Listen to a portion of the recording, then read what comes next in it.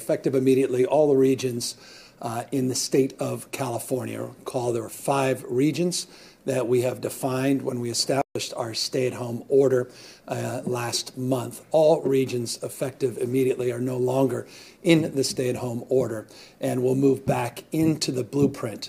A blueprint many of you are familiar with, the blueprint we refer to as a blueprint for a safer economy.